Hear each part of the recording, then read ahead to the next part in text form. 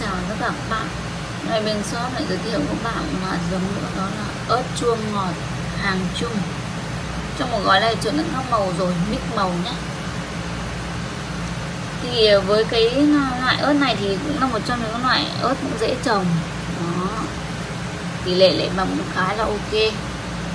Đạt tầm khoảng tầm 80% Shop đã ôm thường rồi. Đó. Thì ở trong một gói này là trộn các màu rồi cũng được uh, mấy chục hạt nữa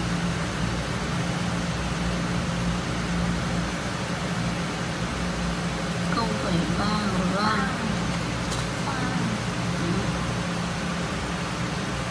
đây.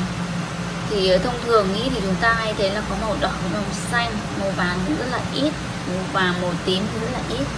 Người này